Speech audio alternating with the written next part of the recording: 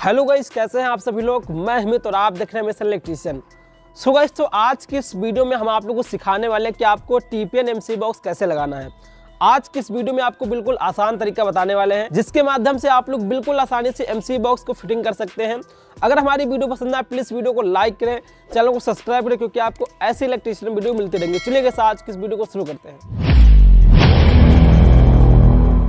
तो दोस्तों, आप लोग देख सकते यहाँ पर हमारे पास एक टीपीएन एमसी बॉक्स रखा हुआ है। इसको फटाफट से अनबॉक्सिंग कर लेते हैं, फिर आप लोग बताएँगे इसको कैसे लगाना है, कैसे इसको दीवार में जाम करना है। तो यहाँ पर आप लोग देख सकते कुछ इस प्रकार से आपको एक बॉक्स मिल जाएगा, जो कि हमारे पास हाइविल्स रियो कंपनी का एमसी बॉक्स है टीपीएन बॉक्स है, जो कि आप लोग देख सकते हैं। फोर बे टीपीएन बॉक्स है, और यहाँ पर इसका एम आर पी आप लोग देख सकते कितना ज़्यादा हाई लिखा चौंतीस सौ इक्कीस रुपये लिखा हुआ है, जो कि आपको इस एम आर पी को देख कर नहीं लेना, नहीं तो आपका काफ़ी ज़्यादा नुकसान हो जाएगा। अभी आपको बताते हैं कि आपको कितने प्राइस में मिलेगा और आपको कितने प्राइस में ले सकते हैं, ठीक है?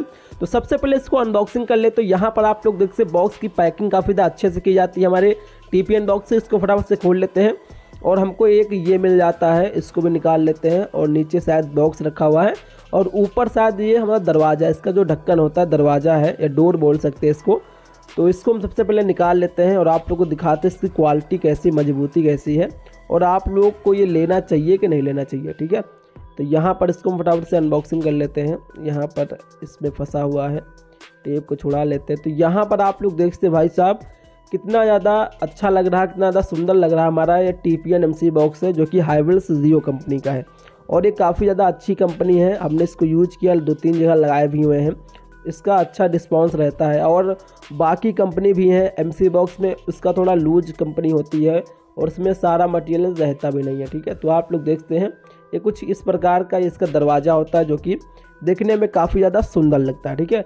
तो अब इसको हम रख देते हैं बाहर, उसके बाद हम, और यहाँ पर आप लोग देख फोर बे हमारा एम बॉक्स है मतलब इसमें आप लोग लगा सकते हैं, नीचे ऊपर सभी तरफ़ एमसीबी लगा सकते हैं, कोई दिक्कत नहीं है, ठीक है? चार चार एम बॉक्स हमारी आ जाएँगे, ठीक है? इसको सोलह बे एम बॉक्स भी हम बोल सकते हैं। Four B M C box है टी पी एन बॉक्स है, ठीक है? और इसमें हमको मैनुअल कार्ड मिल जाता है, जो कि आप लोग देख सकते हैं। अब इसके हम नीचे वाला बॉक्स निकालते हैं, जिससे कि हमारा ये दीवार में जाम होगा। या अगर आप लोग ओपन वायरिंग में लगाते हैं तो इसको आपको ड्रिल मशीन से चेंज करके इसको दीवार पर ऐसे भी लगा सकते हैं। और अगर इसको अंदर ग्राउंड वायरिंग कर रहे हैं तो इसको दीवार कटिंग करके लगाना होगा। अभी आपको सिखाएँगे कैसे इसको लगाना है, ठीक है? और जब आप अंडरग्राउंड वायरिंग में लगाएँ तो इसका ये जो कवर वाइट वाला लगा हुआ है, इसको मत यहाँ पर निकाल लें। अगर इसको निकाल लेंगे तो सीमेंट इसके अंदर चली जाएगी, ये फिर जाम हो जाएगा, फिर दिक्कत हो जाएगी, ठीक है? तो ये जो कवर लगा, इसको, ये कवर इसीलिए लगाया गया है कि जो है, इसको आपको निकालना नहीं, ऐसे आपको झिझी कटिंग करके लगाना है, ठीक है? तो इसको हम नहीं निकालेंगे। यहाँ पास मैनुअल मैनुअल कार्ड है, इसको आप लोग पढ़ सकते हैं, इसके बारे में जानकारी यहाँ पर ले सकते हैं, कोई दिक्कत नहीं है। और हमको इसके साथ क्या क्या चीज़ें मिल जाती हैं, हम देख लेते हैं। उससे पहले इसको, सबसे पहले बॉक्स को यहाँ पर खोल लेते हैं, कैसा दिखता है हमारा बॉक्स ये भी हमको अच्छे से जानकारी हो जाएगी। और इस बॉक्स के नीचे हम लोग यहाँ पर लगाएँगे अपना स्टीपियन बॉक्स को यहाँ पर लगाएँगे, ठीक है? तो यहाँ पर हमने खोल लिया और इसके अंदर हमको वायर मिल जाते हैं, जो कि काफ़ी ज़्यादा अच्छी चीज़ है। और आप लोग देख सकते हमको इसके साथ स्टिकर मिल जाता है। और हमको इसके साथ चार वायर मिल जाते हैं और न्यूट्रल लिंक मिल जाता है फ़ेज़ लिंक मिल जाता है, जो कि आप लोग देखते हैं। रेड ब्लू येलो हमारे तीन फ़ेज़ के वायर हो गए और ब्लैक वाला हमारा न्यूट्रल का वायर होगा ठीक है? और जो फ़ेज़ वाली लिंक होती है जो एमसीबी में लगती है वो भी हमको इसके साथ मिल जाती है जो कि काफ़ी ज़्यादा अच्छा सिस्टम हमको इस एम बॉक्स में मिल जाता है और काफ़ी ज़्यादा अच्छा एम बॉक्स है, ठीक है?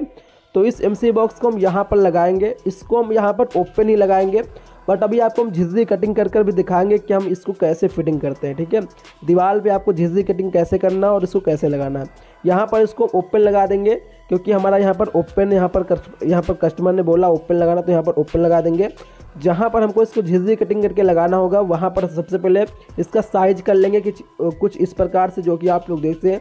जहाँ पर लगाना होगा, कुछ इस प्रकार से यहाँ पर हम साइज़ कर लेंगे। उसके बाद हम यहाँ पर ग्लैंडर के माध्यम से झिझी कटिंग करेंगे, जो कि आप लोग देखते हैं। इस दीवार में हम यहाँ पर एमसी बॉक्स को फिटिंग करेंगे और हमने यहाँ पर साइज़ करके अब उतनी दीवार को हमको अपने गलेंडर मशीन से कटिंग करना जो कि आप लोग यहाँ पर वीडियो में देख सकते हैं। कुछ इस प्रकार से दीवार कटिंग करने के बाद यहाँ पर हम होल बना लेंगे। दीवार को अच्छे से यहाँ पर फोड़ लेंगे छेनी हथौड़ी के माध्यम से या आप लोग एलटी वाली यहाँ पर मशीन के माध्यम से ऐसे दीवार को यहाँ पर फोड़ सकते हैं, कोई दिक्कत नहीं है। दीवार सारी हम फोड़ने के बाद अपने एमसी बॉक्स को अच्छे से जाम करेंगे। हम लोग क्या करेंगे?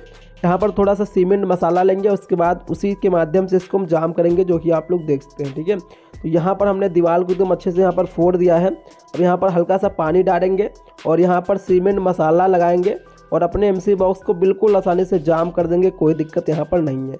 तो आप लोग देख सकते अच्छे से मसाला लगा दिए हैं, और इसके बाद इसको एकदम अच्छे से लेबल करके अच्छे से जाम कर देंगे बस हमारा ये एमसी बॉक्स ऐसे बिल्कुल आसानी से फिटिंग हो जाएगा।